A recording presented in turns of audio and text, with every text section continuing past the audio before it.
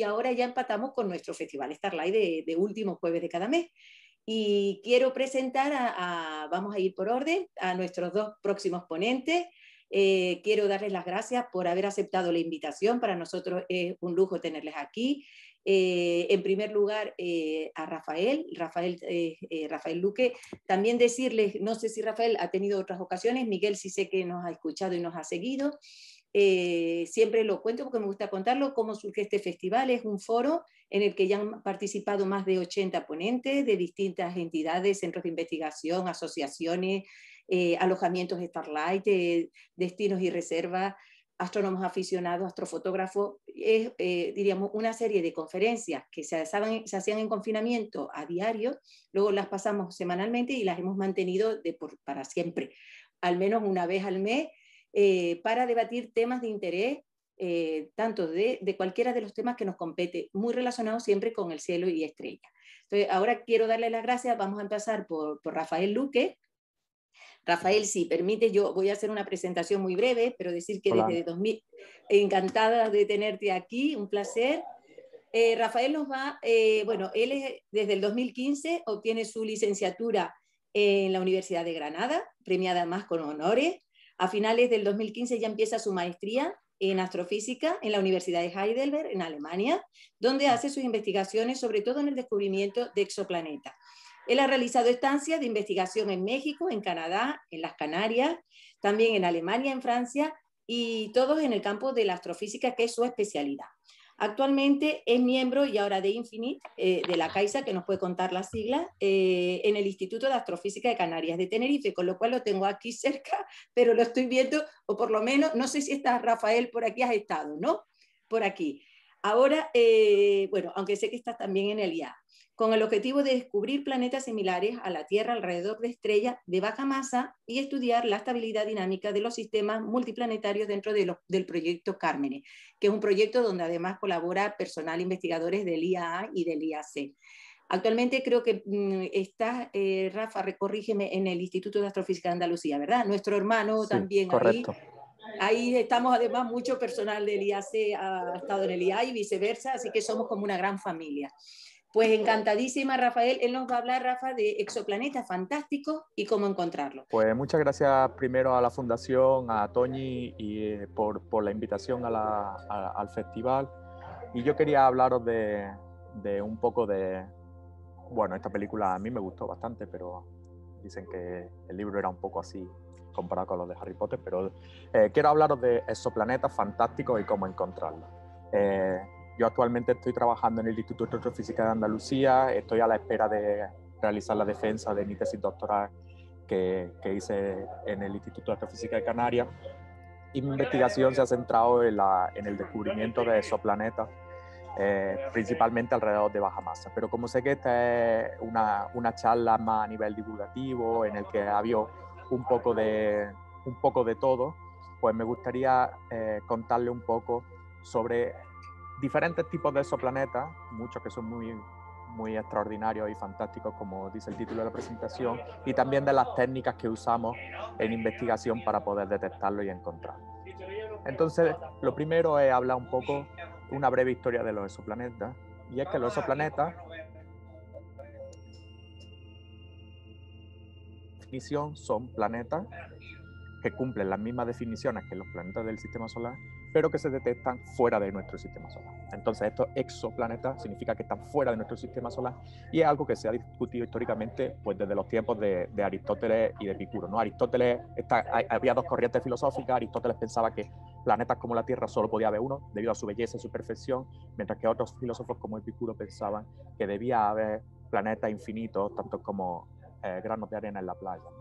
Esto ha sido un debate que a, nivel filosófico se ha mantenido durante, a lo largo de la historia y ha habido algunos científicos relevantes, como por ejemplo Giordano Bruno, que pensaba que las estrellas está, serían muy similares al Sol y que probablemente, debido a esa similitud, estarían también acompañadas por sus propios planetas, como una consecuencia lógica. Y también Newton hablaba de esta posibilidad en el principio de matemática, en este libro revolucionario, pero nunca se dedicó mucho al, al estudio o la hipótesis de otros exoplanetas mm, más que a la, a la descripción de, de, los movimientos en nuestro sistema solar. Pero detecciones tal y como, como las conocemos a día de hoy, eh, se, se, han hecho más o menos desde el siglo XIX. Ha habido algunas detecciones que se debían a anomalías que se observaban en algunas estrellas, como por ejemplo la estrella de Barnard, una estrella muy cercana, de muy baja masa, que se conoce desde hace muchísimos años, una de las estrellas más, mm, más brillantes en el cielo de las que son de baja masa, y también se y era por, por observaciones, monitoreo durante años y años de medidas de esta estrella en su posición, se veía que había alguna anomalía asociada a la posición de la estrella y se pensaba que podrían estar acompañadas por planetas que, que afectaban al movimiento de esta estrella en el plano del cielo. Sin embargo, no fue hasta el 1995 cuando realmente se descubrió el primer planeta fuera de nuestro sistema solar alrededor de una estrella que fuese similar al Sol. Este fue 51 Pegasi, una de las estrellas más brillantes del cielo, que, descubrieron el planeta que lo orbita, 51 eh, Pegasi B. Eh, lo descubrieron Michel Mayor y Didier Queloz en el 95 usando la técnica de las velocidades radiales. Este descubrimiento se basa, e, este, este paper además es precioso porque creo que tiene solo cuatro páginas y solo tiene una figura que es esta. Esto es el descubrimiento de un planeta, simplemente esta figura. Eh, esta figura lo que nos representa es el movimiento de una estrella, 51 Pegasi, 51 Peg, lo siento si se me escapa a veces en inglés, 51 eh, Pegasi, que este es el movimiento que hace de vaivén en, el, en la línea de dirección a nosotros. Es decir, nosotros estamos viendo que la estrella se bambolea alejándose y acercándose de nosotros con una periodicidad determinada y tomando medidas de este vaivén de la estrella, detectamos que este movimiento solo puede ser debido a un planeta que orbita con un periodo de más o menos unos cuatro días y que tiene una masa similar a la de Júpiter. El descubrimiento de 51 Pegasi B, llamado Hot Jupiter o Júpiter caliente, fue merecedor del premio Nobel en el 2019 compartido con James Peebles que James Peebles se dedica a la cosmología y la otra mitad del premio fue dedicada al campo de exoplanetas que se dividió entre Michel Mayor y Didier Queloz a, a, parte, a parte igual.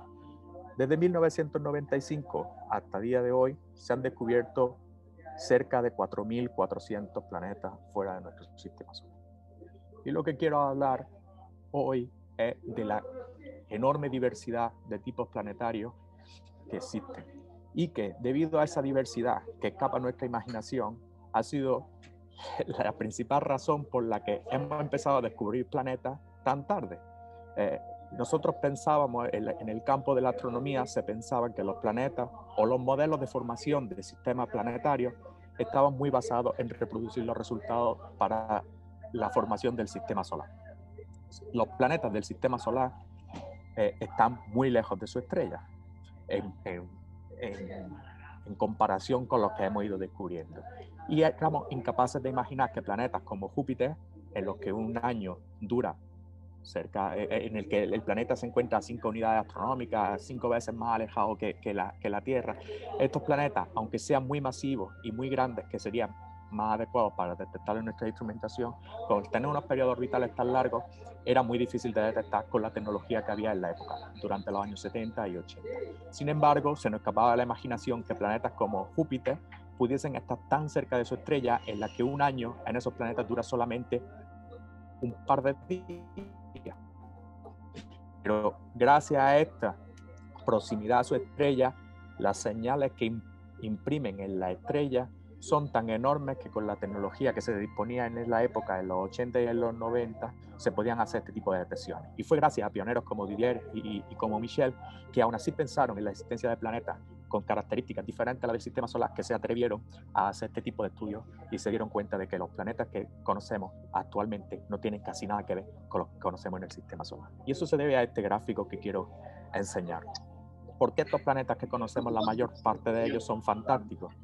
Es porque, como podéis ver, en el diagrama de la izquierda se representa en el eje Y la masa y en el eje X el periodo.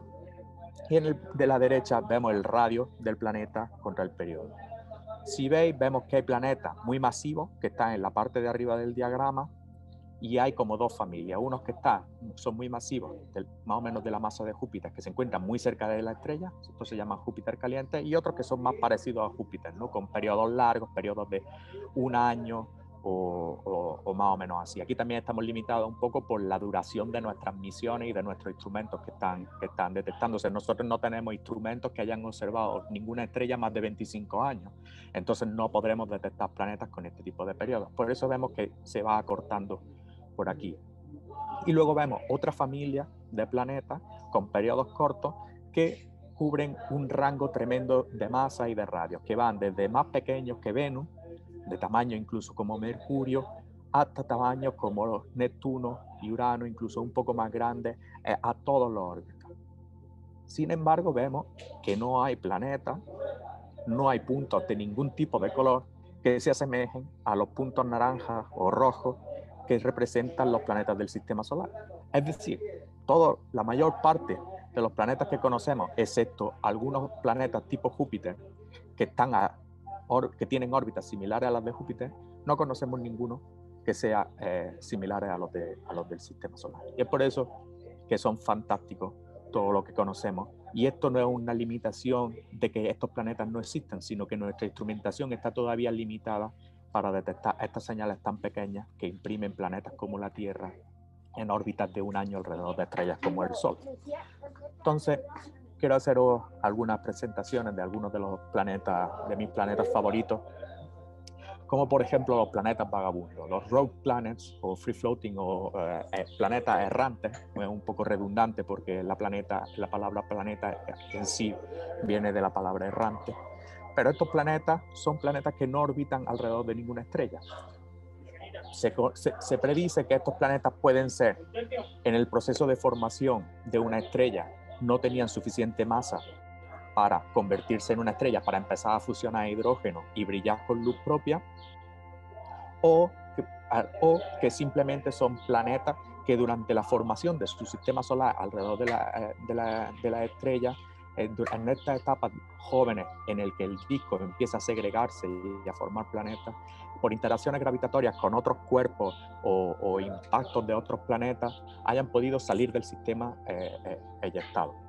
Y se estima que este tipo de planetas, los rogue planets o los planetas vagabundos, puede que haya más planetas de este tipo vagando entre estrellas que, eh, que estrellas en la propia Vía Láctea. ¿no? Estos son planetas en los que la vida nocturna nunca cesa, como dice el cartel, y, y, son muy difíciles de detectar son tremendamente difíciles de detectar. Solo se pueden detectar si los cogemos recién eyectados de su sistema, todavía están calientes y todavía mantienen energía de la formación del sistema planetario alrededor de su estrella, entonces brillan un poco en el infrarrojo, o si por alineaciones eh, fortuitas podemos detectarlo con la técnica de las microlentes gravitatorias, de la que si queréis podemos hablar luego un poco más en profundidad.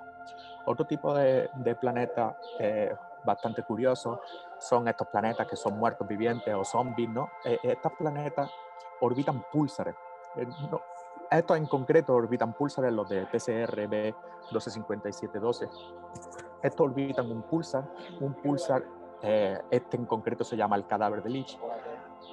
Es el núcleo colapsado de una estrella de tipo solar, un poco más masiva que, que el Sol, que explotó hace millones de años esto en la actualidad es una estrella de neutrones que gira a una velocidad, eh, unas velocidades tremendas y que emite unos chorros de radiación que dependiendo de, la alineación del pulsar con nosotros podemos ver como si fuera un faro eh, en, la, en, la, oscuridad en el mar. Esta radiación que emite el pulsar y el proceso de, de, muerte de la estrella, de explosión de la estrella, ha erradicado todas las posibilidades de vida en estos planetas que reciben unas radiaciones intensísimas, crea eh, auroras enormes en, su atmósfera, pero que han sobrevivido aún así a la muerte de su estrella y siguen orbitando el pulsar, que es mucho, eh, en muchas ocasiones aún más pequeño que, el, planeta, que el planeta en sí. Eh, bueno, se les dice los muertos vivientes, ¿no? Porque son planetas que sobreviven a la muerte de su estrella y, y por eso se les, se les conoce como muertos vivientes. Otro tipo de, de, planetas son los planetas de tipo Tatooine, como por ejemplo Kepler 16, Kepler 16 orbita un sistema solar binario. los sistemas binarios de estrellas forman más o menos el 70% de las estrellas en la galaxia, suelen ser sistemas, sistemas binarios, el proceso más común de formación estelar a partir de una nube eh, protoestelar. Y fue descubierto en el 2011 y se convirtió en el primer planeta de tipo Tatooine, ¿no? por la famosa película de, de Star Wars. El planeta en sí tiene un tamaño similar a Saturno, tiene una temperatura eh, muy baja, cercana a la, de, a la del hielo seco, y he de decir que estos planetas circumbinarios, en este caso, el planeta orbita a las dos estrellas. Las estrellas orbitan entre ellas y el planeta orbita al sistema que forman las dos estrellas. No se conoce ningún planeta que orbite solo una de las estrellas de un sistema binario. Eh, esto es algo que se, en el que hay muchísimo interés porque a niveles de, estabilidad dinámica, de formación planetaria, es muy interesante conocer pero no se ha detectado, a pesar de haber muchísimos programas dedicados a ello, eh, eh, planetas que solo orbiten uno de los miembros de una binaria. Siempre se han descubierto planetas que el planeta orbita la binaria completa. Y parece ser que esto es simplemente un proceso de estabilidad dinámica. No existen órbitas estables entre un par de estrellas tan juntas y tan masivas. Lo que hacen es ellas, estar planetas y da son las binarias son la principal fuente de planetas vagabundos en la, en la galaxia. Otro de los tipos de planetas que me gustaría eh, comentar es los planetas jóvenes que orbitan estrellas en enrayotadas, como por ejemplo Ayumich. A, a, un microscopía es un, un, descubrimiento de hace muy poco tiempo, eh, en el que hemos participado en, el IAC, en el descubrimiento y en la caracterización posterior del planeta. Es un planeta similar a Neptuno, pero que orbita una enana roja. Las enanas rojas son bastante comunes en el campo de esos planetas porque debido a su pequeña masa, a su pequeño radio, a su pequeña luminosidad, no hacen acceder a detectar planetas más pequeños con la misma tecnología que usamos para cualquier otro tipo de estrella. Lo curioso de este planeta es que orbita una estrella enana roja que es muy violenta porque es muy joven. Eh, eh, la juventud de la estrella hace que el, planeta esté sufriendo constantemente radiación ultraenergética, llamadas estelares, y es lo que se llama actividad estelar. La enana roja de por sí son más activas que la estrella tipo solar. La actividad en el Sol se mide con las manchas solares. Eh, sabemos que el Sol tiene un ciclo de actividad de unos 11 años, ¿no? en el que aparecen más manchas solares, más llamaradas, todo eso. Las estrellas rojas, la estrella nana roja ya de por sí son mucho más activas que la, que las estrellas de tipo solar, pero además cuando son jóvenes, cuando, cuando son jóvenes la, la, actividad es un poco más, más, la actividad es incluso más, más elevada. Y estas fases de manchas solares y de llamaradas y flares eh, eh, son mucho más comunes. la actividad estelar es una de las principales razones por la que detectar planetas alrededor de enanas rojas, a pesar de tener eh, eh, facilidades desde el punto de vista teórico, hace que sea difícil en el punto práctico porque la actividad estelar, la actividad de la estrella y las señales que emite la estrella se pueden confundir a veces con planetas cuando no lo son. Otro de los tipos de planetas más comunes que se han descubierto son los mundos de lava. Eh, el, mejor ejemplo es 55 eh, Cancri, 55 Cancri E, eh, que pertenece a un sistema de cinco planetas. Este planeta en particular, el más cercano a su estrella, tiene un, se le considera una super tierra prototípica, tiene un tamaño ligeramente superior a la Tierra, pero se llama un Ultra Short Period Planet porque en él un año solamente 17 horas. Orbita la estrella en solamente 17 horas. Se encuentra tan cerca de su estrella que la temperatura es tan alta que a pesar de estar hecho de roca, toda la roca en su superficie está completamente derretida. Entonces es un planeta de lava en el que además, gracias al brillo de su estrella y, otras y otras propiedades del planeta, su cercanía, que transita, que es detectable con varios métodos, se hace mucho estudio de si pudiese retener una atmósfera. Es interesante saber si un planeta de un tamaño más o menos similar a la Tierra, pero que se encuentra tan cerca de su estrella, sería capaz de retener una atmósfera o la estrella la evaporaría completamente. Y hay mucha, mucha discusión eh, en la literatura sobre este sistema en concreto que ha sido muy observado y nunca con, con detecciones sólidas. de todos los planetas más interesantes, que creo que aquí estaremos todos de acuerdo, son los planetas llamados habitables que normalmente copan las portadas de las sesiones de ciencia en los, en los periódicos. Eh, y el más famoso de ellos, yo diría que es Trappist, el sistema Trappist 1 y en concreto el sistema, eh, el planeta Trappist 1e, que es un planeta de tipo terrestre, no super tierra, tiene el tamaño de, de, tamaño y densidad prácticamente iguales a la de la Tierra, que orbita en la zona de habitabilidad de su estrella. Esta zona de habitabilidad es una región teórica, hay que decirlo, en la que se estima que el agua en su superficie podría ser líquida. Si está muy cerca de su estrella, el agua se evaporaría y si estuviese muy lejos, el agua estaría en estado sólido. Entonces, esta zona de estabilidad no tiene implicaciones directas en la detección de vida o en las posibilidades de vida, pero es una zona eh, que a priori eh, sería apta para, para, para, la detección de agua líquida, en la, en la, presencia de agua líquida en estos planetas. El sistema en general de TRAPPI-1 tiene siete planetas que son todos de tipo terrestre, se encuentran en una cadena de resonancia similares a, la, que ocurre en las lunas de Júpiter y se encuentra solo a 40 años luz de nuestro sistema solar. Eh, y es muy probable que durante esta década o la siguiente podamos realmente estudiar y medir por primera vez las atmósferas con precisión de estos planetas e intentar detectar agua en ellas. Que no vida, pero la detección de agua eh, en estos planetas está al alcance en los próximos años gracias al lanzamiento del telescopio James Webb, que probablemente se haga a final de este año. Y por, por eh, la TRAPPIST 1 es una estrella enana roja, pero de la de más baja masa comparado con, con, el resto de enanas rojas. Así que para poner un poco en contexto el sistema, he puesto este gráfico en el que se ve en el medio el sistema de TRAPPI-1. Los tamaños de los planetas sí están en, comparación con los de abajo del, sistema solar, eh, pero el tamaño de la estrella no está en comparación con la de los planetas. Pero aquí se ve que la estrella central TRAPPI-1, esta estrellita aquí roja, el tamaño tan pequeñísimo comparado con la, con la del Sol. La estrella es poco más grande que Júpiter y el sistema en sí es poco más grande. Eh, los planetas empiezan a orbitar la estrella un poco más distancia a la que Calisto, la luna eh, de Galileana más, más, externa de Júpiter, lo hace de, lo hace de Júpiter. Y como ve, el sistema, a pesar de tener siete planetas, está muy, muy, muy, muy, muy compacto si lo comparamos con el, con el, sistema, con el sistema solar. Eh, y bueno, es un sistema extremadamente interesante y que si su estrella fuese un poquito más brillante, eh, ya hubiésemos detectado agua en, en, en, su atmósfera en estos planetas, pero la estrella es muy débil y necesitamos nueva instrumentación para poder, para poder hacer estas detecciones. Entonces, ¿cómo se hacen estas detecciones? Pues sabemos que los planetas no emiten luz, solo la reflejan. Así que, por tanto, son muy tenues en comparación con las estrellas a las que orbitan. Y en el rango óptico brillan menos de una millonésima del brillo de su estrella madre.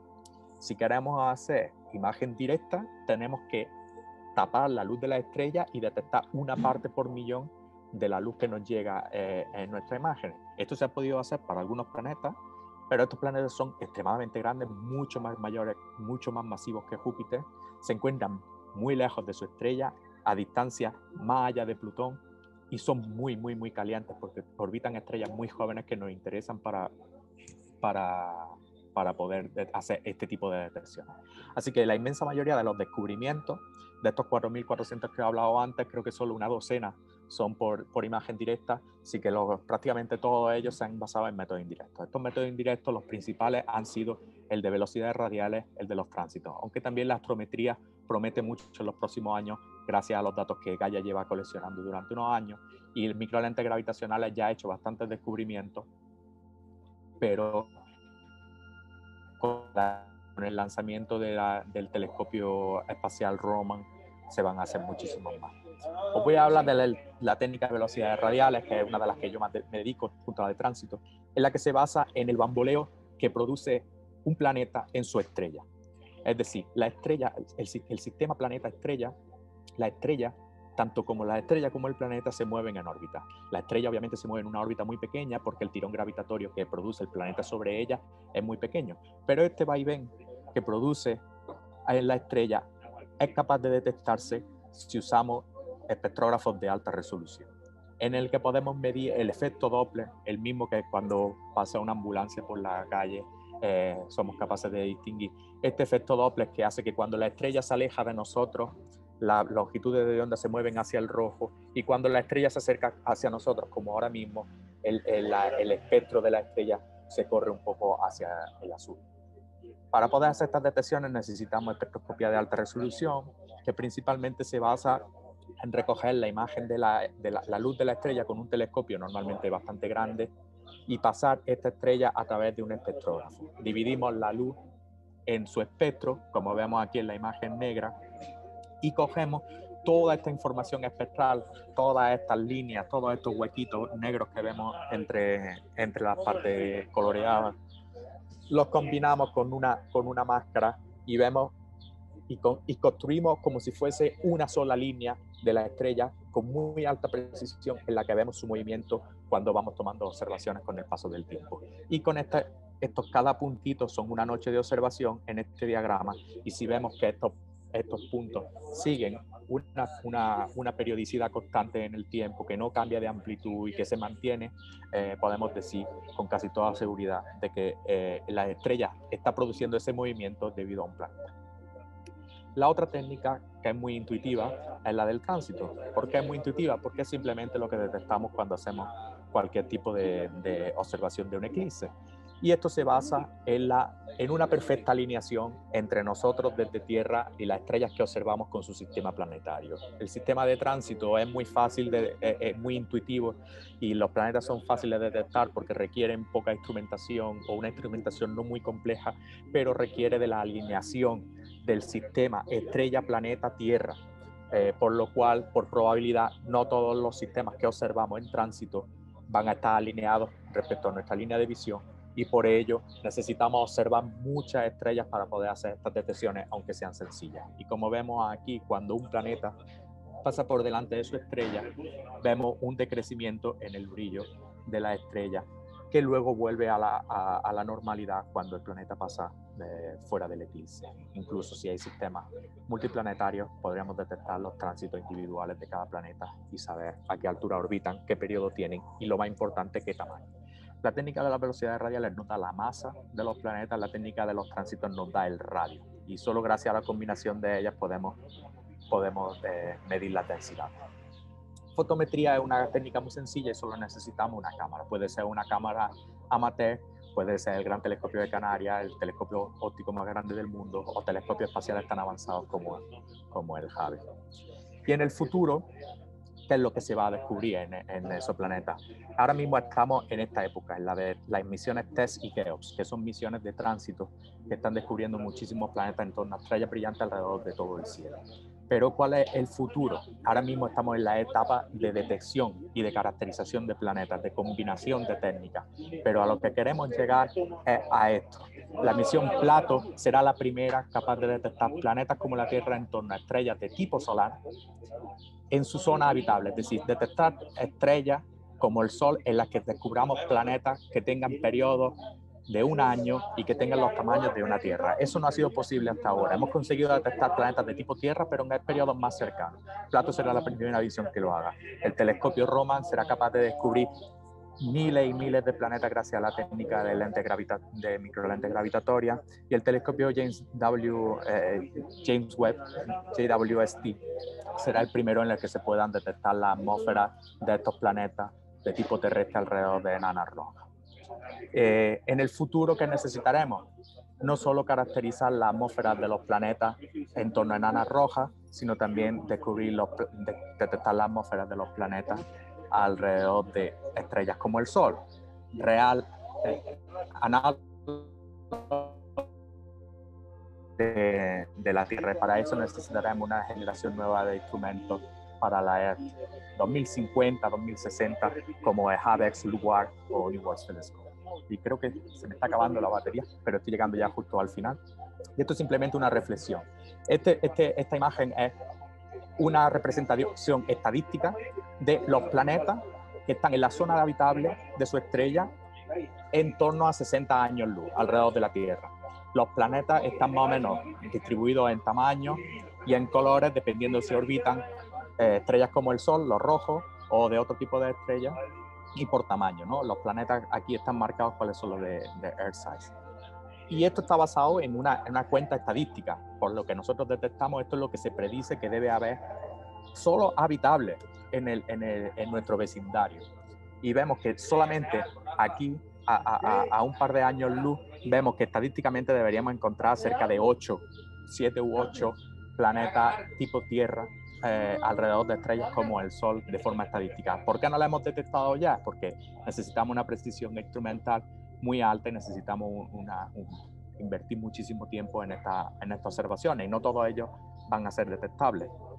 Pero de forma estadística sabemos que hay una cantidad enorme de planetas, de planetas de tipo terrestre hay una cantidad enorme y de planetas que estén en la zona habitable de su estrella también. Se prevé que el 25% de las estrellas de tipo solar tengan un planeta terrestre en la zona habitable. Así que eh, esto, este campo no va a hacer más que crecer. Eh, ya ha crecido muchísimo en los últimos 25 años, va a seguir creciendo y siempre con el objetivo último de, de responder a la pregunta de si estamos solo en el universo y de si hay vida en otros planetas. Así que muchas gracias por su atención y, y encantado de responder vuestras preguntas. Muchas gracias, eh, Rafa. Yo soy aquí, tienen todo el micro cerrado, pero la verdad que aplaudo yo en nombre de todos, fantástica. Te agradezco, bueno, y seguro que todos te agradecemos infinitamente esta exposición tan cinematográfica, tan ilustrativa, tan concreta. Yo creo que nos ha dado a todos muchas pistas. Seguro que que, este tipo de, charlas ayudan mucho a, captar, digamos, el contenido y el estado actual ¿no? del arte en, lo que significa descubrimiento exoplaneta. Muchísimas gracias, Rafa. Eh, yo voy a dar paso antes de que Miguel, Miguel, eh, si te parece, aunque sea dos preguntitas, y Rafa, yo no sé si tú te puedes quedar por si al final tienen más preguntas, por si te quedas sin batería, me parece estoy sin batería, estoy en el bar, estoy en la calle, va a ser un desastre, no me voy a poder quedar ni siquiera la de Miguel, entonces, lo siento mucho. Pues, pues, entonces eh, vamos a esperar, a, entonces si no te importa Miguel, le damos mm, a pie alguna o dos preguntas que le queramos hacer a, a Rafa y si no Rafa te las haremos llegar también. ¿eh? A ver, ¿alguna pregunta que le queramos okay, hacer? ¿Alguien quiere, si alguien levanta la mano? Eh, aquí, a Manuel, Manuel, Grullón. Buenas, saludos. Sí, Manuel, Grullón. Manuel Grullón, coordinador nacional de divulgación de la, astronomía, de la Unión Astronómica Internacional para República Dominicana. Excelente charla, Dios mío, qué calidad, qué contenido, cómo lo explicó. Le felicito, de verdad. De verdad, felicidades, porque estos temas tienden a ser un tanto excluyentes a veces con las terminologías, con los tecnicismos, y lo manejaste magistralmente y, estuvo muy bien.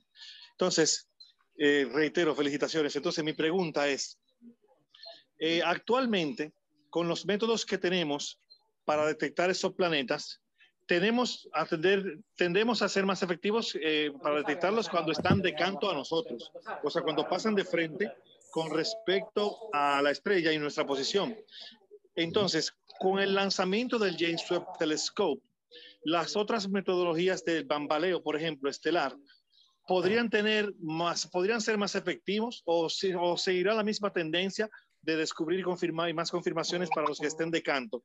Eso por un lado. Y otra pregunta sería, la zona habitable lo que conocemos como zona habitable, que es el área donde el agua puede estar en temperatura líquida.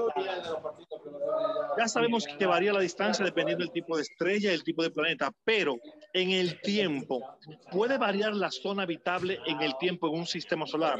Por ejemplo, en un pasado es posible que Marte haya estado en la zona habitable de nuestro sistema solar y eso también aplique a otros sistemas solares, de modo que también eso sea un reto encontrar planetas en el área habitable en el momento que los vemos, porque ya eso puede cambiar. O sea, eh, muchas gracias y reitero la charla magistral, magistral. Gracias.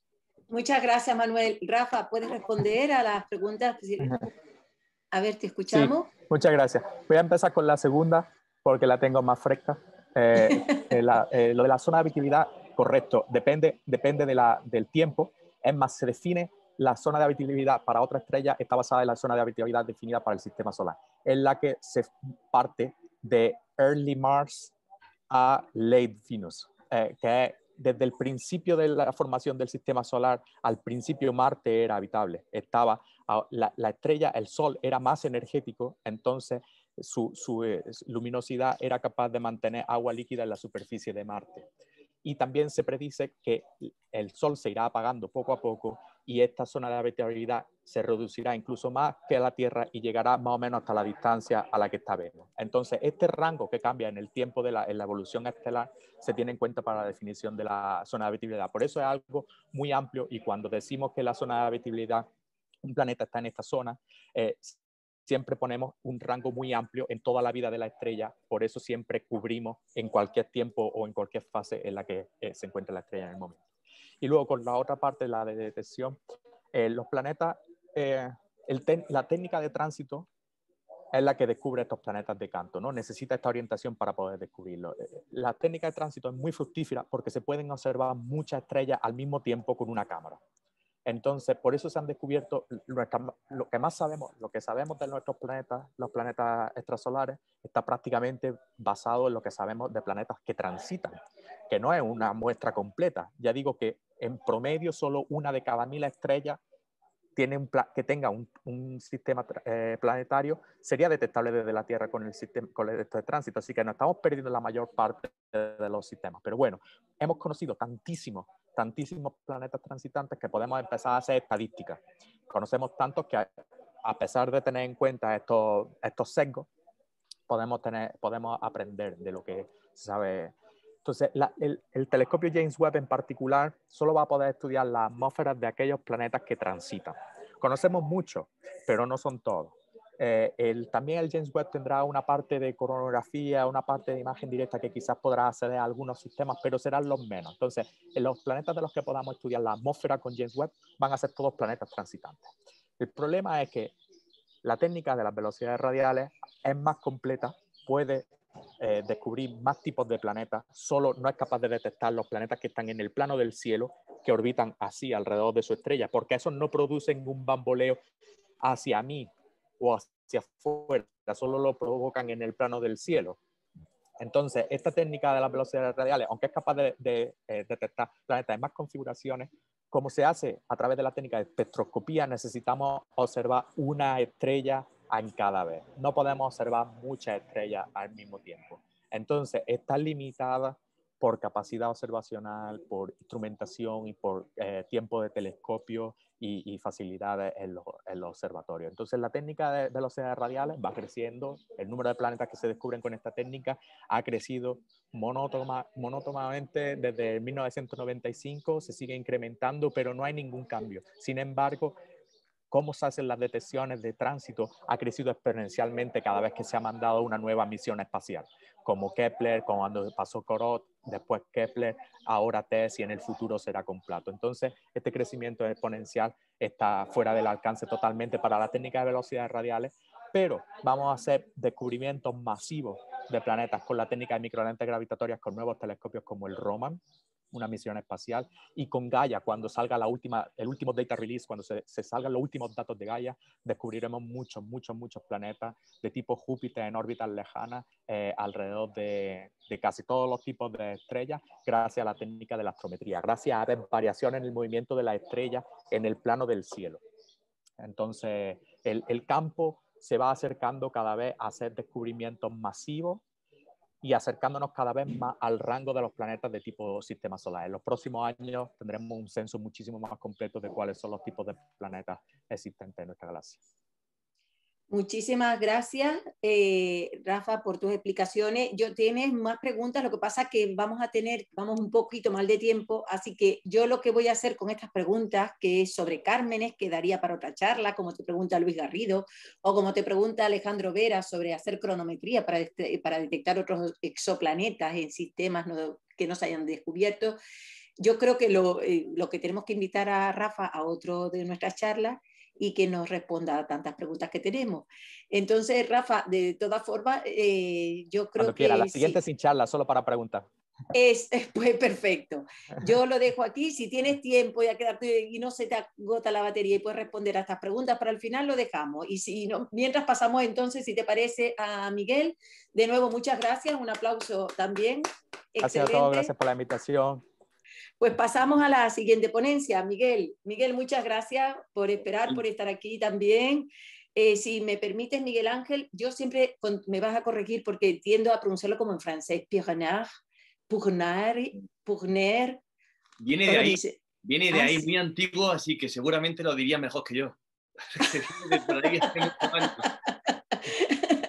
Para nosotros eres uno de nuestros Migueles, así es como es en nuestros, en nuestros encuentros y reuniones. Pues bueno, Miguel, eh, si me permite, voy a decir aquí para que vean eh, como la, la, multiversidad y la interdisciplinaridad es bárbara. Miguel es médico de familia, pero además es astrónomo y amante de la naturaleza, como se hace definir él. Nace en Almería hace muy poco, eh, lo digo, tiendo a no decir, en el año 1989 Comenzó su andadura en la divulgación astronómica de la mano del blog El Nido del Astrónomo, colaborando asimismo con el National Geographic en su colección de Atlas del Cosmos. Él es autor de varios libros, entre ellos el de Breve Guía del Cosmos de Divulgación, y es presidente de una asociación que ya nos contará, que, eh, que, se llama Asociación de Turismo Astronómico, que es lo que hacemos nosotros.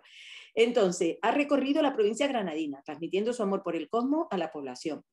Y es promotor de la creación que ya conocemos, del complejo astronómico de los Colorados, un complejo Starlight en Gorafe, que culminará con su primera fase de construcción este verano y donde ya se están realizando numerosas actividades, como también Miguel Gil nos ha contado, y de investigación. En este caso, eh, Miguel nos va a hablar de un tema que nos va a interesar muchísimo también y del que vamos a aprender mucho, como en la charla de Rafa, que es Geografía Celeste, una nueva perspectiva de nuestro lugar en el cosmos. Miguel, muchísimas gracias, muy amable por aceptar la invitación y somos todo oídos. Muchísimas gracias, Toñi. Pues, a ver, yo he elegido este tema eh, porque siempre me ha fascinado un poco la geografía, pero pensar qué lugar ocupamos, ¿no? Es decir, el cielo está un, un lienzo en dos dimensiones y muchas veces pues, es difícil imaginarnos realmente qué lugar ocupamos, qué tenemos cerca, qué estructuras, ¿no? Que pertenecemos a algo más grande, a veces pues va un poco contra la, lógica o el sentido de nuestra cabeza, de razonamiento. Y bueno, y siempre me ha gustado el tema de ir indagando y aquí hago un resumen de algunos detalles. Esto da para hablar una barbaridad. De hecho, esto es parte de una charla que estoy haciendo de una hora y pico, aquí he reducido las cosas que me resultan quizá más interesantes. Y bueno, empiezo con algo tan simple como este mapa, ¿no? Porque uno, cuando mira el cielo, eh, qué difícil puede ser ¿no? Imaginar lo que hay ahí fuera. Algo parecido a lo que este mapa, basado en datos de Ptolomeo hace casi 2000 años, tenía sobre la península ibérica. Como aquí además, eh, por alusiones, hay mucha gente de Canarias, pues bueno, este otro mapa de 1534 de la isla. ¿Qué quiero decir con esto? Pues que dista mucho de lo que hay en la realidad, ¿no? Le falta muchísima precisión. Eh, ¿Por qué? Pues básicamente porque estaban dentro de ese lugar y no tenían la capacidad de verlo desde fuera. Nosotros a la hora de ver el firmamento tampoco tenemos esa capacidad, por desgracia, de salirnos de la galaxia y verlo todo desde arriba. Entonces, cuando vemos un cielo como el que tenemos aquí en la imagen, una de las fotografías de, de Miguel Gil, pues podríamos ver eso, uh, lo que he dicho, un lienzo en dos dimensiones con muchos puntos. Si acaso al ver esa franja que atraviesa el cielo podríamos intuir, quizás si tuviéramos conocimiento, que estamos en medio de una galaxia espiral, ¿no? Además vemos muchas nubes oscuras, pues podríamos decir, bueno, las galaxias espirales tienen mucha formación de estrellas, pues sí, tiene sentido. Pero más allá de eso es muy complicado, ¿no? Porque hay muchísima cantidad de gas, estrella y polvo que nos tapa lo que hay alrededor. Entonces, eh, para eso ha habido muchos avances que han permitido conocer nuestro verdadero lugar. Aquí tenéis, por ejemplo, una imagen, una maravilla de imagen de Hubble de un cuerpo de Oscar eh, espectacular. Esto es lo que se ve cuando se, se observa en el óptico, ¿no? en el rango de óptico. Pero gracias al desarrollo de instrumentos en, que ven, por ejemplo, en otras longitudes de onda como el infrarrojo, pues hemos conseguido la capacidad de atravesar estas nubes y ver lo que hay detrás, ¿vale? La imagen es la misma zona, si os fijáis. La diferencia es que en la derecha, en el infrarrojo, somos capaces de ver las estrellas que hay detrás, con lo cual ya salvamos uno de los obstáculos que teníamos para conocer qué hay más allá, ¿no? A nuestro alrededor. Entonces, bueno, sabemos ahora que vivimos en una galaxia espiral, luego veremos por qué. en esta charla empezaba por nuestra propia casa, eh, el sistema solar, pero como he dicho, como son unos 20 minutos, eh, voy a dar un salto de esta zona local. Otro día, si queréis, pues podemos hablar de, que tenemos muchas cosas interesantes aquí al lado, pero vamos a dar un salto ya al exterior y nos quitamos esto de un plumazo y damos un viaje pues unos cuantos años luz hacia arriba. Y visualizamos aquí una estrella que es nuestro Sol, rodeada por una nube de material que es la nube de Oort. ¿vale? Os sonará esa nube que tiene, se aleja del Sol hasta un año luz, está lejísimo, una nube de, escombros de hielo que parece ser que es la reserva de los cometas de largo periodo que de vez en cuando nos visitan, ¿no? Esa nube que está en el espacio exterior prácticamente. Bueno, pues desde esta altura, desde una altura de unos 10, 20 años luz, podríamos ver las estrellas vecinas.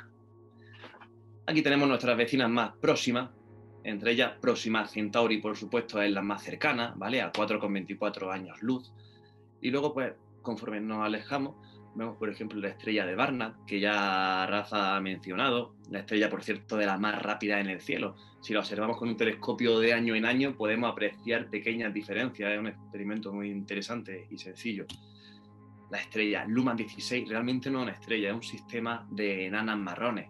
No se considera ni estrella, no llegan a la masa para considerarse estrellas, ¿no? Pero bueno, son nuestras vecinas. Y este, cada, eso, estrella, las estrellas mm, descubiertas recientemente tienen nombres cada vez más, menos románticos, ¿no? Más, más numéricos. Y esta, esta estrella, WISE 0855071, realmente no es una estrella. De hecho, tiene menos masa incluso que una enana marrón. Eh, se considera casi un planeta errante pero bueno, ahí lo tenemos cerca y el número de este tipo de objetos cada vez va a ir en aumento conforme mejoren los instrumentos. Hay una serie de estrellas también cercanas, la más conocida por todos, por supuesto, Sirio, al doble de distancia de Próxima Centauri. Y bueno, estas son nuestras vecinas. Como veis, la distancia media en nuestra región de la galaxia entre estrella y estrella es de unos entre 5 y 10 años luz. Por ahí andan las cosas. La mayoría enanas rojas, no por nada, sino porque las enanas rojas son el tipo de estrella más abundante en la galaxia. Tres cuartas partes de ellas son enanas rojas. Y vamos ya a ir viendo puntos de vista diferentes. Con respecto a este grupo de estrellas, nuestras vecinas, ¿hacia dónde se mueve el Sol? ¿Vale? Vamos a poner ya el factor tridimensional. El Sol se mueve hacia un punto del firmamento que se encuentra entre Hércules y Lira. ¿Vale? Es lo que se llama el apex solar. El Sol se mueve hacia allá a 16,5 kilómetros por segundo con respecto a las estrellas vecinas. Y lo que deja atrás, que está en la zona del Can Mayor de Sirio, es el Antapex, ¿vale? Y en este mapa también, para ir orientándonos, vamos a intentar visualizar el centro galáctico para saber cómo nos movemos con respecto a él. Pues el centro galáctico apuntaría hacia donde está ahí la flecha. Es una zona que todos conocéis y que todos hemos visto en verano, ¿no? Pleno centro de Vía Láctea, entre constelación de Sagitario y Escorpio, muy poblada y llena de nebulosas y de objetos interesantes. Pues, luego eh, vamos más allá, ¿vale? Porque me interesa eso, que no veamos solo que de la estrella pasamos posteriormente a los brazos de la galaxia, no nos, no nos saltemos un escalón en la jerarquía de la estructura a la que pertenecemos. Nosotros estamos inmersos en una nube de hidrógeno neutro, una nube que se llama la nube interestelar local. Es una nube de un tamaño considerable, de 30 años luz, y es una de tantas que pueblan el espacio. La nube G muy cerca engloba a Próxima Centauri y a otro buen número de estrellas, se conoce como nube G. Y estas nubes, estas masas de gas, ya os digo, son muy abundantes. Nuestro Sol eh, va a saltar de, la, de nuestra nube interestelar local a la nube G dentro de unos 20.000 años, ¿vale? Estamos en constante movimiento. Ahora veremos de dónde vienen estas nubes, que parece que no pintan aquí nada. Son nubes, como digo, de hidrógeno neutro, con una temperatura de 7.000 grados Kelvin. Es decir, lo que tenemos a las puertas de nuestro sistema solar, si diéramos un paso más allá de la heliopausa, que es lo que nos separa del, medio interestelar, estaríamos en un ambiente que está a 7.000 grados. ¿no? Eh, caliente, ya digo, a la temperatura superficial del Sol, pero eso sí muy poco denso, ¿vale? Apenas 0,3 átomos por cada centímetro cúbico. vamos a seguir dando un paso más grande para conocer, vale, estamos dentro de una nube interestelar de hidrógeno neutro, pero ¿qué más?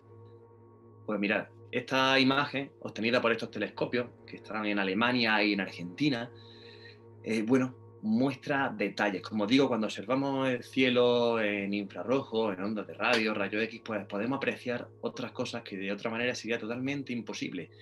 Y fijaros aquí, creo que se ve el ratón, sí, apreciamos, aparte del centro galáctico, del disco de la galaxia, apreciamos algunas formaciones redondeadas. Fijaros esta circunferencia que señalo con el ratón. Hay otras líneas curvas hacia abajo, aquí hay una, aquí hay otra. Bueno, pues, ¿esto qué son? Pues es una cosa curiosa. Y es que nuestra galaxia está llena de burbujas. Burbujas eh, literalmente, vamos, se llaman así. ¿Cómo sabemos la, existencia de estas burbujas? Pues gracias a la detección de una molécula que se llama yoduro sódico, que solo se forma, digamos, en ambientes fríos. Entonces, ¿qué hacemos? Miramos, por ejemplo, a una estrella que está cerca, que está a 100 años luz, y vemos que no tiene yoduro sódico, ¿vale? Porque está en un ambiente caliente. Vemos otra estrella que está a 300 años luz, bastante más lejos, y vemos que tiene yoduro sódico, es decir, entre esos 100 años luz y los 300 hay un cambio de temperatura, ¿no? De una zona caliente pasamos a una zona fría. Bueno, pues cuando se monitoriza el cielo entero buscando esa molécula, se encontró que residimos en medio de una burbuja de gas caliente, ¿vale? Que recibió el nombre de burbuja local. Aquí tenemos la nube que hemos visto antes, ya una escala mucho más expandida, y la veis, está en un lado de esta burbuja local que ya es una estructura de casi 500 años luz de longitud y más de 300 de anchura. Para que nos suenen algunas cosas que tenemos dentro, dentro de esta burbuja y vayamos poniendo límites mentales, pues, por ejemplo, bueno, no he dicho de que se forma. Esta burbuja, si nuestra nube tenía 7000 grados Kelvin, la temperatura media de esta burbuja es de un millón de grados Kelvin. ¿no? Aquí el hidrógeno no, se puede, no puede permanecer en estado neutro, el hidrógeno aquí se disocia y los electrones salen volando. ¿A qué se debe que ese, el gas que hay aquí esté a un millón de grados, que es muchísimo? Pues se debe a que el origen de esta burbuja está en una o varias explosiones de supernova. En la nube molecular que había aquí al principio, en la que nacieron múltiples cúmulos, pues cuando se han muerto varias estrellas supermasivas, han reventado como supernova y han formado esa cavidad, ¿no? Su onda expansiva va horadando el gas de la materia interestelar y acaba formando esta nube ardiente, ardiente ya digo, a un millón de grados. Eso sí, muchísimo menos densa incluso que las nubes interestelares que hemos visto antes. Estructuras que hay en esta nube burbuja local tenemos, por ejemplo, el cúmulo de la Osa Mayor, ¿vale? Todos conocemos que del el carro, del asterismo del carro en la Osa Mayor, pues cinco de sus estrellas forman realmente una agrupación, ¿no? Un grupo, un grupo, como se llama en inglés, con moving groups, un grupo, no sé cómo se llama, un, grupo estelar, un grupo de movimiento estelar, junto con otras estrellas que al final ocupan casi todo el firmamento, forman una corriente, la corriente de la Osa Mayor. El cúmulo de la IAD también lo tenemos en nuestra propia burbuja local. Y estrellas conocidas como Altair, Aldebarán o Almach, pues ahí tenéis la posición relativa de ellas para que hagáis esto, un mapa, ¿no? Un mapa de, de, qué lugar ocupamos y lo que tenemos alrededor. Esta burbuja local no es algo exclusivo de nuestra zona, sino que está todo lleno de burbujas. Esto fue la imagen que permitió conocer la existencia de esta burbuja. La zona blanca que hay en el centro es la zona que no tiene yoduro sódico, ¿vale? Zona caliente y la zona negra y gris es la zona de corte donde el yoduro sódico sí existe si viéramos de perfil nuestra burbuja, veríamos que no es una burbuja a pesar de ese nombre, no es una esfera, sino que se abre hacia arriba y hacia abajo como una chimenea. ¿Vale? Ahí lo vemos como un diablo, como realmente atraviesa el plano de la Vía Láctea, el disco hacia arriba y hacia abajo, y expulsa el material caliente hacia afuera, lejos de la galaxia. Fijaros, este, este esquema lo ilustra muy bien. Son chimeneas realmente las burbujas que se abren al exterior ese gas que llega fuera de la galaxia acaba por la gravedad volviendo otra vez a caer sobre la galaxia y favorece la formación de estrellas, ¿no? Es un ciclo continuo y muy largo. Como decía, la burbuja local no es solo exclusiva de nuestra zona, sino que hay muchísimas más. Las más cercanas reciben el nombre de Loop 1, Loop 2, Loop 3. La más interesante quizá, y la que vamos a hablar un poco, es la de Loop 1. ¿Por qué? Pues porque conforme Loop 1 se ha ido acercando a la burbuja local, ha comprimido el gas que había entre ellas en la interfase y ha dado lugar a la formación de las nubes interestelares como la nuestra. La nuestra está ahí, pues junto con ella se han formado un, pequeño cúmulo, digamos, de nubes interestelares de hidrógeno neutro, ¿no? Al acercarse las dos burbujas, comprimen el gas, el hidrógeno se puede, eh, se enfría, se acaba juntando, es más denso y se forma hidrógeno neutro. Incluso un tiempo atrás llegaba a estar mucho más junto y más frío y formó hidrógeno molecular y formó estrellas, ¿no? Algunas de las que tenemos hoy por aquí. Si mirásemos el loop 1, ¿qué veríamos? ¿Qué conocemos del cielo que esté en Loop 1? Pues para empezar, la asociación OB de Scorpio Centaurus es una de las más cercanas. Este tipo de asociaciones OB se llaman así porque tienen estrellas de tipo espectral O y B. Son las estrellas más masivas, ¿vale? Gigantes rojas, gigantes azules, recién nacidas. Recién nacidas básicamente porque cuando tienen unos pocos millones de años revientan como supernova. Entonces, el hecho de que las veamos nos indican que en esa zona hace poco se ha formado una gran cantidad de estrellas. ¿vale? La mayoría de estrellas brillantes que podemos ver desde la constelación de Escorpio hacia el sur hasta la Cruz del Sur pertenecen a esta asociación. Entre ellas, la brillante y conocida Antares. Eh, cerca de esa asociación estelar tenemos Rho Fiuchi. Es una zona ahora mismo de formación de estrellas que todos conocemos por las fotos, porque todos hemos visto estas famosas fotos, se ve chiquitita ahí, que rodea Antares, ¿no? Ese, ese colorido que parece un cuadro. Bueno, pues las nubes negras que hay a la izquierda y arriba de Antares pertenecen a esta nube de Fiuchi, donde se están formando activamente estrellas ahora. Pero si vamos un poquito más para allá, vemos la grieta del águila, Aquila Rift, en inglés, mucho más grande, y una región de formación de estrellas mucho mayor. Y esta sí que la hemos visto todo en el cielo a simple vista, porque es esa gran banda oscura que divide la Vía Láctea en dos a la altura de la constelación del Águila. Eso no es que la Vía Láctea, por supuesto, se divida en dos, ¿no? Es que ese parche, esa grieta, esa nube molecular se interpone entre ese brazo de Sagitario al fondo y nuestro punto de vista. Hoy en día es una zona negra, sin mayor interés, es una maravilla, pero en un futuro, cuando la estrella ahí se desarrollen y las estrellas brillantes y grandes hagan supernova y oraden y, ionicen el gas, pues va a ser bastante llamativa, ¿no? va, a destacar muchísimo más de lo que destaca ahora.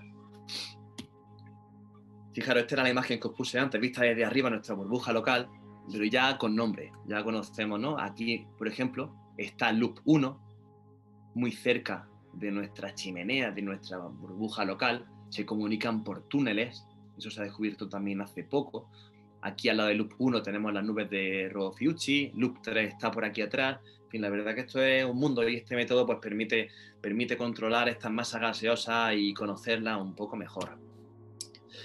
Importante para ir desarrollando nuestro conocimiento del entorno es la generación de catálogos, ¿no? Es ver cosas, catalogarlas, registrarlas y coger datos de ellas. Ya empezó Hiparco en su momento, hace más de 2000 años, a hacer el primer catálogo firme de estrellas que se veían en el cielo.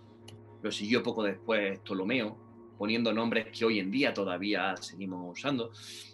Y se siguió desarrollando. Tycho Brahe fue otro monstruo en el tema, ¿no? daban medidas muy precisas de brillo y de coordenada. Y hoy en día ya esto se ha llevado al extremo gracias a los telescopios que pueden sobrevolar la Tierra, ¿no? que lanzamos al espacio. El, el Hiparco fue el primer telescopio de este tipo y mapeó el cielo con un nivel sin precedentes. Fijaros que hablamos durante la década de los 90, dando idea de la distancia de una gran cantidad de estrellas, de unas cuantas miles, no sé si eran 2.500 o 3.000. Esto se ha ido desarrollando y hoy en día, de lo, de lo que quiero al final eh, dejar constancia es de el desarrollo de Gaia. ¿Vale? Gaia, ya lo ha mencionado antes Rafa, eh, ha supuesto una verdadera revolución que ahora es cuando se está dando un fruto enorme. Empezó en 2013, se lanzó en 2013 y eh, su pretensión en ese momento era registrar, registrar mil millones de estrellas en nuestra galaxia, es decir, casi un 1%, pues registrar de cada una de ellas su brillo, su distancia perfectamente medida por paralaje y el movimiento que tenía, ¿no? Y lo consiguió enseguida. Es decir, esta misión estaba programada para durar dos años y como otras, otras misiones se ha podido prorrogar y ha habido dos, tres, hasta tres tandas más de, recogida de datos, de manera que ahora ya, hoy en día, ha proporcionado información de 1.800 millones de estrellas, además de una cantidad igualmente grande de objetos de cielo profundo, de cuásares, ha proporcionado una fuente eh, de datos que permitiría trabajar en esto durante décadas y seguir habiendo descubrimientos. De hecho, aunque empezó en 2013, ha sido en 2018-2019 cuando el número de estudios que se han basado en estos datos ha empezado a subir exponencialmente. Ahora cientos y miles de estudios en dos años se basan en los datos de Gaia, porque es el mapa más preciso que tenemos, mucho más de lo que podíamos imaginarnos, ¿no? De hecho, esta imagen que veis aquí arriba es un mapa del movimiento propio de las estrellas que van a tener durante los siguientes 400.000 años. ¿no? Esto, da, mucho juego y nos permite conocer todo lo que tenemos alrededor y está cambiando muchos conceptos y, cosas interesantes. ¿no? Por mencionar algunos, ¿vale? Tampoco vamos a, hacer aquí mucho tiempo, pero por mencionar algunos, fijaros, eh, a todos sonará el cinturón de Gould. Es una estructura de unos 3.000 años luz de diámetro que forma un anillo en torno a un punto cercano al Sol. Eh, lleva ya varias décadas eh, vigente esta, esta teoría, basada en que muchísimas zonas de formación estelar, las principales que tenemos cerca, entre ellas la, que hemos dicho antes, de Escorpio Centauro, la de la Certa, Perseo, Orión, pues se disponían formando una especie de anillo alrededor de un punto central. Eso que dio que pensar, pues que tenían un origen común, y el Sol estaba en un lugar privilegiado desde donde podíamos ver ese anillo de, gas, de nubes moleculares, en un punto de observación privilegiado, Pero siempre parece ser que nunca estamos en un lugar privilegiado, ¿no? Siempre el Sol va perdiendo esa posición central que tiene conforme vamos descubriendo más cosas. ¿Por qué? Porque fijaros, en 2019 eh, se obtuvieron estos datos con la misión Gaia. En azul se marcan las zonas de formación estelar.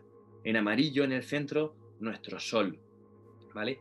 Pues se descubrió la estructura cercana más grande conocida hasta el momento. Fijaros esta hilera de nubes que tiene casi 9.000 años luz de longitud. Y eh, se rompió un poco la, la, la, concepción de un anillo en torno al Sol de nubes, sino que era un poco efecto de perspectiva, ¿no? Entonces, esta enorme hilera se ha venido a llamar la onda de Radcliffe. Esto hablamos de una publicación del año pasado. Fijaros aquí en rojo qué bien se ve la estructura que forman esas nubes, ¿no? Una estructura. Mm, lo interesante es que no es solo lineal, es que fijaros aquí abajo, cuando lo vemos de perfil, vemos que es una serpentina. Va subiendo y va bajando respecto al plano galáctico hasta alejándose hasta 500 años luz de ese centro del plano y es una estructura totalmente coherente y que comparte movimiento, ¿no? La onda de Radcliffe está, se está poniendo bastante de moda porque, entre otras cosas, eh, uno de los misterios está en saber cómo se ha formado esto. ¿no? Aquí, conforme uno descubre cosas, se encuentra más preguntas de las que tenía y eso es lo, una de las cosas más bonitas de esto. Aquí tenemos una representación en tres dimensiones de esta onda para que lo pongamos en perspectiva Fijaros que hablamos de casi 9.000 años luz de longitud, 1.000 años luz en vertical y 400 de grosor, es decir, es una considerable estructura. Nuestro Sol casi, casi está llegando a ella. Dentro de unos cuantos millones de años la va a atravesar.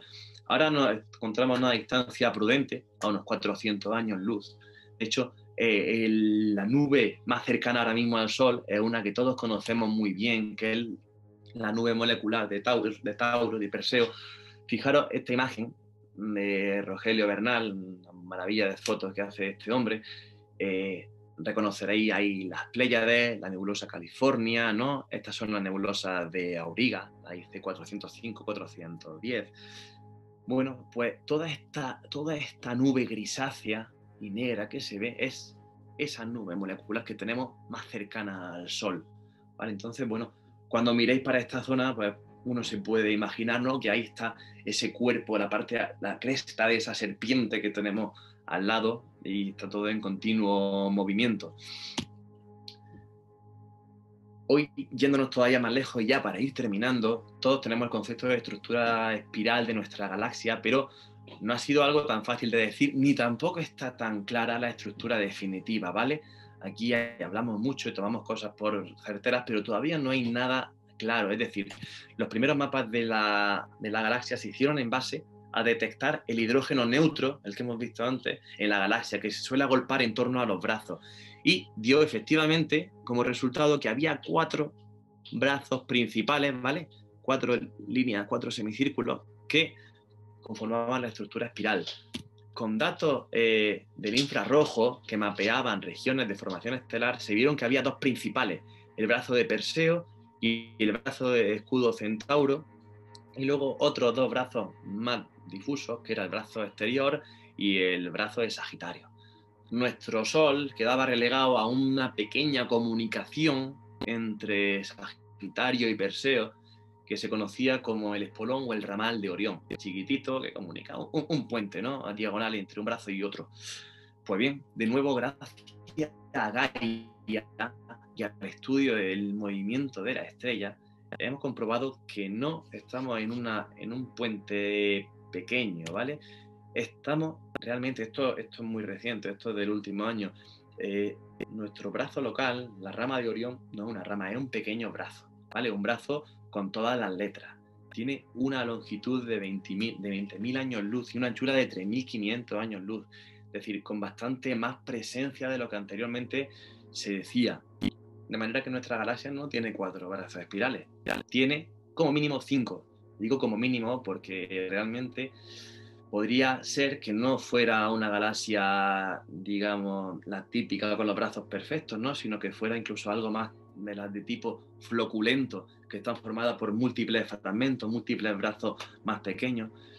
Todavía no se sabe y Gaia es verdad que nos va a permitir pues, conocer muchísimo más de todo esto con una precisión mucho mayor. Ya para ir terminando, fijaros eh, lo reciente de estos hallazgos, que estamos hablando del 19 de marzo de 2021, se publicó este estudio, supongo que lo veríais por, por las redes o por esta noticia, de el espolón de Cefeo, ¿no? Eh, Cefeus Spur o el ramal de Cefeo. Bueno, pues otra estructura que se descubrió gracias a la segunda tanda de datos de Gaia, ¿vale? A la segunda. Eh, el espolón de Cefeo parece ser que es una comunicación entre nuestro brazo, el brazo local, y el brazo de Perseo. Este sí parece ser que es una especie de puente sobrelevado. Fijaros esta imagen para ponerlo en perspectiva. Ahí tenemos el centro galáctico. Esto, morado que se ve aquí es el brazo de Sagitario. En azul está nuestro brazo local, el brazo de Orión. En rojo el brazo de Perseo. Y estos este puntitos amarillos serían las estrellas que forman ese espolón de Cefeo, que además no está comunicando en línea recta, sino que está sobrelevado. Esto verdaderamente sí parece un puente. Fijaros en el diagrama de perfil cómo el grueso de su estrella están sobre ese plano galáctico más elevadas que los demás. Además, lo curioso es que parece que tiene mucha relación con una de las crestas de la onda de Radcliffe que hemos visto antes. ¿no? Podrían tener las dos estructuras mucho que ver. Y esto hace pensar en otra cosa, en que nuestra galaxia no es un plano eh, no es plana, mm, literalmente, ¿no? Sino que presenta numerosas ondulaciones, algo más parecido a esto. Esto se llama la corrugación, de, las corrugaciones de una galaxia, ¿no? Es lo que ocurriría si tenemos dos ondas en el agua que se juntan y forman pequeñas ondas en, en, sentidos totalmente diferentes, ¿no? A lo que venía siendo antes la onda de la primera, de la primera gota de agua y parece ser que eso es lo que ocurre en nuestra galaxia y por eso tenemos esa forma de serpentina que no viene a cuento de nada, si no llega a ser por este tipo de situaciones. ¿Y esto qué pone atrás luz? Pues que la Vía Láctea ha tenido encontronazos con otras galaxias, ¿no? Y estos sub y bajas que tenemos, estas ondulaciones, no son sino el reflejo de esos choques. En concreto, gracias a Gaia, otra vez, es que os digo que esto da para mucho, Gaia está siendo una mina, eh, Gaia parece que ha encontrado una galaxia enana que tenemos al otro lado de nuestra Vía Láctea, que se la, ha denominado Antlia 2 por la constelación en la que está, que parece ser que es la única que ha podido causar a su paso a través del núcleo durante los últimos 3.000 millones de años eh, estas vibraciones. De hecho, parece responsable de la formación en espiral de nuestra galaxia. Aquí tenéis una, unas animaciones muy interesantes. Fijaros que partimos de una galaxia sin forma, sin brazos, y cuando la atraviesa esa galaxia, empiezan a aparecer. Estos son simulaciones al final mucho, hoy en día mucha parte de la astronomía se basa en simulaciones, ¿no? En hacer unas millones de simulaciones y ver cuál se compagina mejor con lo que observamos en el cielo. Bueno, pues podríamos deberle a esta galaxia secundaria que ha descubierto Gaia la presencia de nuestros brazos y desde luego esas ondulaciones que, que encontramos. En fin, bueno, pues esto era por poner algunas cosas sobre esto. Imaginaros el poco tiempo que llevamos con los datos de Gaia sobre la mesa, pues esto en esta década eh, va a ser un, boom. Nos van a ayudar a encontrar asociaciones estelares muy cerca de nosotros en las que iremos entendiendo que el universo en realidad se parece más a un océano, ¿no? Con corrientes de agua que se encuentran, zonas calientes, zonas frías, rincones de coral.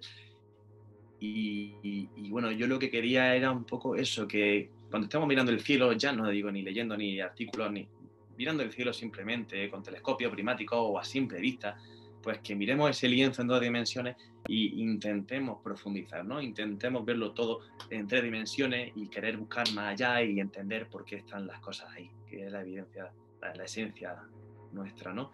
Me despido con esta foto, que también es de Miguel Gil, por cierto, en la zona de nuestro terreno donde empezamos a construir ya el complejo en breve. Así que espero poder invitaros de aquí a septiembre, octubre y que vengáis a vernos. Pues muchas gracias muchas gracias por la excelente exposición y además tan realmente nos damos cuenta que estamos en un mundo eh, bastante turbio, tanto que parece que es tan simple, cuántos Babel, cuántas burbujas, cuántas, qué maravilla, ¿no? El ir conociendo poco a poco nuestra procedencia, ¿no? Cuánto nos queda por saber. Así que muchas gracias por esta exposición y estamos hablando de este entorno, como dices tú, cercano, ¿no? De nuestra Vía Láctea, Gaia es verdad que creo que era desde 2013, ¿no? Que está aportando datos sobre que es como un mapa tridimensional ¿no? de, lo que es nuestra Vía Láctea y, bueno, es verdad que está dando mucha información que servirá también para entender qué está pasando en otras galaxias. ¿no? Pues si les parece, aunque nos hemos pasado un poquito de tiempo, estamos aquí, como ves, todos encantados y enganchados, así que si les parece, aunque sean cinco minutitos, dos preguntitas o que les queramos hacer a Miguel, bueno, a ver si alguien, eh, bueno, aquí te dan cosas que muy buena charla, eh, bueno, gracias por hacer soñar, magistral. Eh, muchos se tienen que estar retirando ya, las fotografías también magníficas de Miguel. Si alguien quiere preguntar algo más sobre, bueno, sobre estos Babel, la física, sobre dónde estamos, cada vez más confuso, ¿verdad, Miguel? Bueno, a ver, porque igual alguien, Manuel, Manuel te levantó la mano. Yo quería ah. preguntarle algo ah, a, perdona. a, a Miguel sobre dónde podemos encontrar información de este tipo, porque yo qué sé, para mí es la primera vez que oigo hablar de las burbujas local y todo este asunto. Bueno, la verdad que es un poco complejo. Yo tengo, he estado investigando bastante, de hecho no, no he encontrado un sitio donde venga todo, todo esto bien explicado por pasos, ¿no? Hay sitios, hay muchísimos estudios pero claro, ya hay que buscarlo directamente, ¿no? Cuando uno busca en Google burbuja local, pues, o local Babel, ¿no? Pues aparece un montón y ahí ya sí uno puede ir navegando de uno a otro, porque en el de la burbuja local hablan de loop 1, pues ya busca uno por loop 1 y ya está. Yo es verdad que estoy haciendo ahora un compendio, porque estoy haciendo, preparando un libro, quiero tener una zona gorda, una, una región de libro gorda para esta geografía, entonces por eso está un poco empapándome del tema, pero está todo muy disperso es verdad que no está, no hay un lugar donde esté todo explicado largo, ¿no? Hay muchísima información, muchísima, pero hay que buscarla. pues manténnos al día y en cuanto escribas el libro no lo, no, lo dices. Estaríamos gracias, de, Muy bien, gracias. gracias. Es verdad, Miguel, que eh, es cierto y eh, coincido con Luis, es que este es uno de los temas que más centrado ha estado, por ejemplo, lo que es la comunidad astrofísica, lleva años trabajando en los Babel, o sea, en este tipo de burbujas, que eh, de hecho, cuando decía burbujas, yo no sabía, estaba, digo, es algo que no, y es verdad, los Babel, es como que algo que normalmente está ahí. Hay muchos artículos, en, en Wikipedia pueden encontrar artículos científicos, no todos son accesibles, a través de instituciones sí, si alguien a lo mejor quisiera o estuviera interesado por algo, aprovechenos a lo que estemos en centros de investigación que podemos acceder a artículos científicos, pero es verdad que hay poco, ¿verdad? Como dice Miguel, eh, un poco más para los medios, porque es un, campo bastante eh, complejo de explicar, no es tan eh, de divulgación y yo creo que por ahora llegará a serlo, ¿no? Porque mira que magníficamente nos lo ha contado Miguel. Por ahora casi toda la información está más contenida, creo yo, si no corrígeme Miguel, en revistas científicas y artículos científicos que en, que en, Wikipedia, ¿no? O en medios de divulgación. Efectivamente, sí, sí, en Wikipedia en todo caso, en la inglesa, vale. La inglés, eso te iba a decir, está mejor. Búsquenlo en inglés que hay más contenido, es verdad. Sí, siempre, siempre, en ciencia muchas veces, sí. Pues se lo haremos llegar. Y aquí creo que había levantado la mano Manuel. Manuel, querías... Le escucho, sí, disculpe la, Encantado. Escuchamos. Hola, Manuel. Disculpe la, la existencia. Increíble.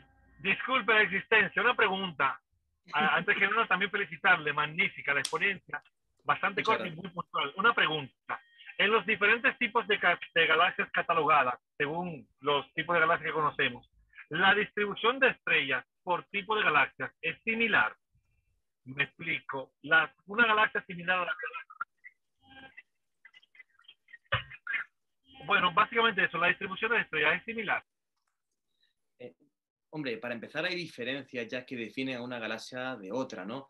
Es decir, en las galaxias espirales, por regla general, eh, definimos, tenemos eh, estrellas más jóvenes, las más grandes se sitúan en torno a los brazos, porque es la zona de mayor densidad donde crecen, donde a partir de esas nubes crecen las estrellas, nacen estrellas y mueren, y las grandes pues están en los brazos.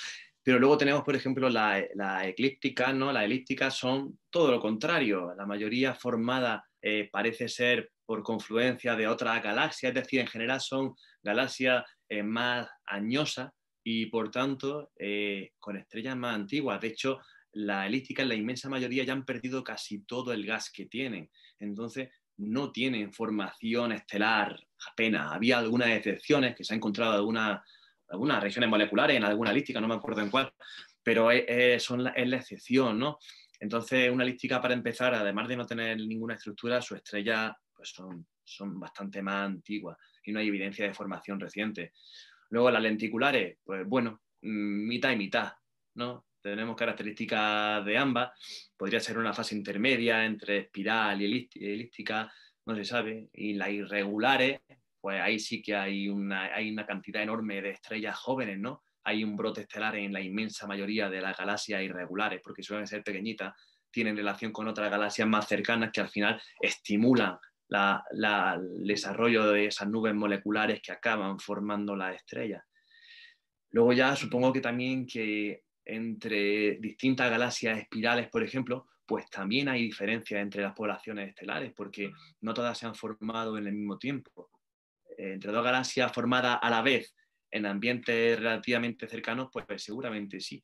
Pero claro, si una galaxia se ha formado hace 5.000 millones de años, relativamente joven, pues seguramente la, la proporción de estrellas va a cambiar, la metalicidad de la estrella no es la misma, ¿no? Las estrellas, las galaxias más antiguas, pues tienen que tener estrellas con baja metalicidad bastante más abundante que las otras, así en, general. Muchísimas gracias, Miguel. ¿Alguien quiere...? Gracias. Manuel. Gracias. Manuel, muchas gracias. ¿Alguien quiere, eh, tiene alguna otra pregunta? Dejamos una preguntita más y, si quieren ya nos despedimos. Hmm. Pues bueno, eh, aquí ya nos está preguntando la cantidad de galaxias, efectivamente. Sí. De hecho, eh, tiene razón. Miguel, bueno, te está preguntando que todo, ¿cuál es la situación, Miguel, en la cantidad de galaxias que hay, lo lejos que están? Kimpi, ¿cuál es la situación actual ahora? Kim, me imagino que pregunta cuál es el, el, cuáles son los principales desafíos, preguntas que, que nos hacemos ahora respecto a la formación y evolución de galaxias. Lo intento interpretar así, si no, tú quita el micro. Ya lo he quitado. Hola, eh, Miguel. Es que con la cantidad de galaxias que hay, la distancia a las que están, eh, lo que nosotros estamos viendo, lo estamos viendo de hace millones de años. Ahora, ¿qué crees que puede haber ahí fuera? Eh, bueno, buena pregunta. Por supuesto que sí. Ahora, eh, es verdad que sí, que por supuesto la astronomía es un viaje en el tiempo y conforme más nos alejamos, pues más tiempo ha pasado, ¿no? Pero realmente lo que se ha visto hasta ahora hay cierta ¿no? en distintas partes del universo y en distintas épocas. Es verdad que el universo ha ido cambiando, ¿no? Al principio, eh, como hablábamos de la metalicidad, por ejemplo, todas las galaxias se formaban con hidrógeno y helio y poco más, entonces tienen una metalicidad muy baja, estrellas muy masivas, y eso conforme pasan los años, pues se han ido se han ido enriqueciendo o contaminando con elementos pesados que formaban la otra estrella. Hoy en día pues estamos en una situación la que consideramos habitual, normal, ¿no? Pues con una metalicidad relativamente importante comparado con la anterior. Entonces, la tendencia en un futuro, eso debe ir a más, ¿no? O sea, la metalicidad siempre va a más, hay elementos más pesados y luego la expansión es otra constante por ahora que continúa, continúa. Entonces, aunque si vemos una estrella que está ahora a 400 millones de años luz, una galaxia, perdón, pues mucho, mucho eh, no ha debido cambiar. Habrá podido evolucionar un poco en, en, tiempo y forma si tiene otra galaxia cercana, pero bueno, al final el futuro del universo pues es otra charla interesante y muy compleja, ¿no? Porque estamos en expansión. En teoría, bueno, a igualdad de situación inicial, las galaxias evolucionarían de manera parecida, pero luego todo es muy variable, porque si estás en un, en un entorno como un cúmulo de galaxias, pues al final eh, hay interacción entre una y otra y al final el, el caos, ¿no? Pues puede hacer cualquier cosa. Entonces, cuanto más lejos, pues supongo que más más difícil será hacer estimaciones. Y en las más cercanas, por ejemplo, Andrómeda, que está aquí al lado a dos millones y medio de años luz, pues sabemos que no va a haber mucha diferencia. En dos millones y medio de años vista, no va a haber apenas cambios, ¿no? Salvo alguna nova y poco más, supernova. Gracias, Miguel. Si no hay ninguna pregunta, desde luego tenemos trabajo, porque si hemos sabido y he podido fotografiar el Big Bang y al menos o 380.000 años después, hasta ahora todavía nos queda muchísimo, diríamos, eh, por, por, por, investigar y por descubrir. O sea que aquí hemos perdido la noción del tiempo, sinceramente. Eh, bueno, darle, sí, eh, Jesús. Hola, hola. ¿Sí? Quería preguntarle, en los 13.700 millones de años más o menos que tenemos de, de distancia, ¿cuántas galaxias se calcula que hay?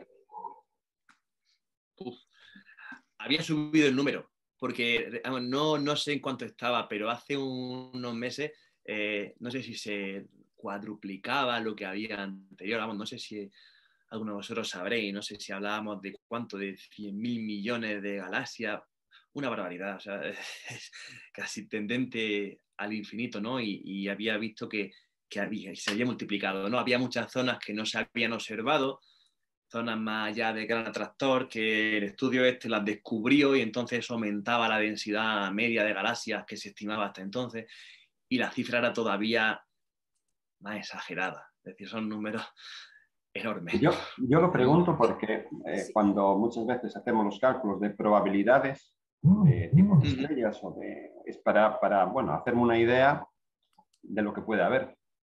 O sea, porque cuantas más haya, el número de probabilidades en algunos aspectos es mayor. Entonces, por eso lo he preguntado. Gracias. Vale, sí. No. Claro, por supuesto. De hecho, sí, ahí está. Sí, Toñi, sí, Se entendió la pregunta, ah, ¿no? Ah, no, sí, no, gracias. No, que le decía que es verdad que todo ha cambiado muy rápido desde el Hubble, por ejemplo, a mediados de los años 90 se podía pensar que el universo observable podrían haber 100.000, 200.000 millones de años, pues estas cifras recientemente han quedado muy lejos de, esas cifras y en realidad ahora se hablan de billones de galaxias, ¿no? Entonces, claro, poco a poco vamos teniendo y cada uno, eh, si eso lo multiplicamos, esos son pues cuatrillones de, cerca de mil cuatrillones de estrellas, es decir, que las cantidades van cambiando eh, poco a poco con los años. Y es cierto que, bueno, poco a poco vamos pintando el escenario de lo que es el universo en total, ¿no? Pero sí, las cifras eran muy acertadas, Miguel, o sea que estamos hablando ya de, billones, de uno o dos billones de galaxias, ¿no? Pues nada, aquí, si les parece, yo antes de colgar, que ya son siete y media, muchas gracias por todo el tiempo, decir que yo en todo, y eso lo sabe Miguel, y no lo dije antes con Rafa, pongo detrás de mí una imagen, siempre es arte y astronomía. Pero hoy he querido darle un homenaje a Dragana, que no sé si está por aquí o no, porque creo que todos sus pósters son arte. Entonces, hoy he querido homenajearla poniendo como arte el último póster de que es el cartel de este festival. Así que gracias, Dragana, por, por, esta preparación artística que tú tienes y que haces para deleitarnos con estos carteles, que un día haremos una exposición, un libro o algo, lo que sea, y así hacemos también homenaje a todos los ponentes, como hoy a Rafa y a Miguel, que tan amablemente han compartido su conocimiento con todos nosotros. Así que muchas gracias a los dos, un abrazo enorme y, un aplauso en nombre de todos. Bueno, pues nada, gracias a todos por su tiempo y, nos veremos el próximo eh, jueves, ya el siguiente queda final de mayo, creo que es el 27 de mayo. Así que espero de todas formas coincidir en cualquier otra actividad que hagamos antes y cualquier meeting o cualquier otra reunión. Muchas gracias, un abrazo y cuídense mucho.